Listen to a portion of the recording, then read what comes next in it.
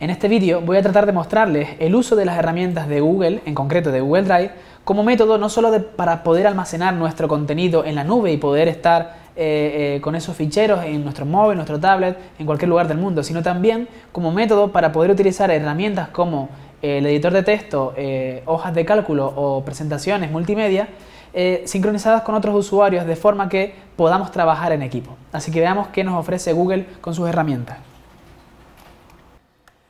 Bien, pues lo primero que vamos a hacer es eh, abrir un navegador web. Podéis usar eh, Firefox o podéis usar Google Chrome, el que queráis. Y accederemos a eh, Google a través de la barra de navegación o directamente si os sale como plugin al principio. Bien, en Google, además de la barra de búsqueda que normalmente utilizamos para buscar cosas, tenemos arriba a la derecha un pequeño menú en el que ahora mismo aparece eh, mi foto, pero aparece mi foto porque ya yo estoy llegado, eh, logueado, pero eh, si vosotros no habéis accedido con vuestra cuenta, pues aparecerá la opción de iniciar sesión. Cuando iniciéis sesión, bien, bien sea con vuestra cuenta personal o sea a través de la cuenta ull.edu.es que os proporciona la Universidad de La Laguna, os aparecerá algo muy parecido a lo que tengo yo.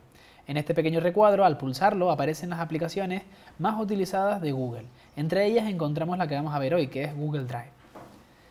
Dentro de Google Drive, pues lo que encontramos es en un eh, gran recuadro en grande todo lo que serían eh, los archivos mm, de que disponemos en nuestra unidad ahora mismo. Yo tengo, eh, a título personal, pues cinco carpetas con todos mis archivos guardados en la nube, es decir, en Internet.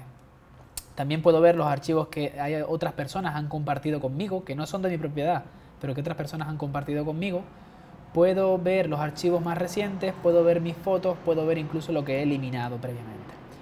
Bien, también tenemos un pequeño botón que se llama nuevo y que al pulsarlo pues podemos crear eh, carpetas, podemos subir archivos que estén en nuestro ordenador, en nuestro eh, ordenador local, podemos crear documentos de tipo, eh, podemos crear archivos de tipo documento, de tipo hoja de cálculo, de tipo presentación multimedia o también podemos crear formularios de Google, dibujos, mapas, etc.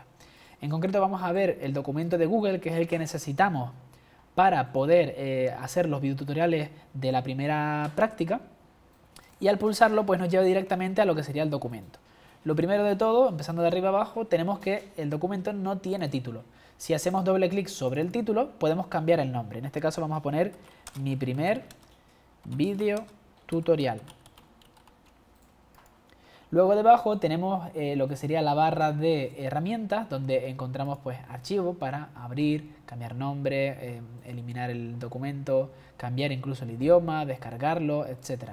Podemos editar, podemos ver eh, a pantalla completa o ver las reglas, podemos insertar imágenes, enlaces, ecuaciones, dibujos, gráficos, es decir, son más o menos todas las herramientas que también podemos encontrar en procesadores de texto como por ejemplo LibreOffice o Microsoft Word. Debajo tenemos también eh, herramientas, mm, eh, pero son las más utilizadas en este, en este caso, como pueden ser, pues, por ejemplo, eh, las de imprimir, pegar, cambiar el tipo de texto, el, tipo de, letra, la alineación. Por ejemplo, vamos a poner aquí título. Y debajo vamos a poner este es el primer párrafo. Vale, lo separamos un poquito. Y ahora quiero que el título adquiera un, tipo de letra de tipo título. Y además lo quiero centrado. Y lo quiero cambiar de color. Por ejemplo, lo quiero en rojo y en negrita. Y el primer párrafo, pues, lo selecciono dos veces y lo pongo en cursiva. Y en lugar de centrado, pues lo pongo justificado. Para que cuando yo siga escribiendo, ¿no? Voy a hacer así pues él solo va, eh, digamos que separando, eh, haciendo los espacios necesarios para que eh, el documento se quede perfectamente alineado.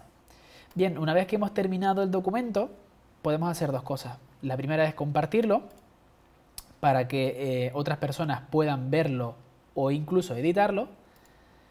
Eh, a través de correos. Simplemente pondríamos aquí eh, correos de, la persona a la que queremos compartir. Por ejemplo, se lo, pasaría, se lo pasaría a mi compañero Eduardo Negrín.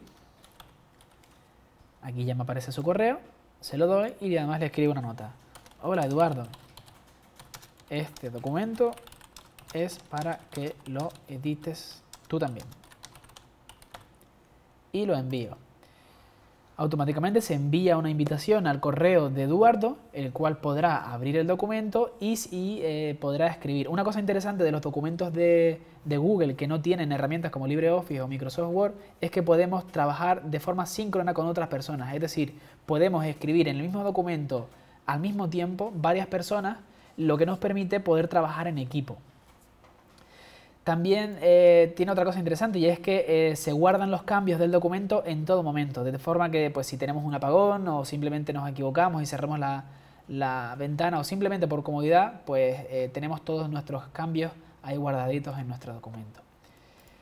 También podemos descargarlo, lo podemos descargar como documento de tipo Word, documento de tipo LibreOffice o documento de tipo PDF.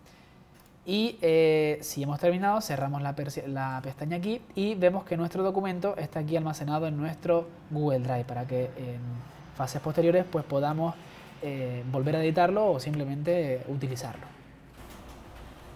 En resumen, las herramientas de Google lo que nos permite sobre todo es la posibilidad de compartir, de sincronizar todo nuestro contenido, todo lo que nosotros hagamos con otros usuarios y al mismo tiempo poder trabajar con ellos. También podéis quedaros con la idea de que todo lo que hagamos se queda almacenado en la nube, como decíamos, y podemos acceder a ellos desde cualquier parte del mundo con cualquier dispositivo.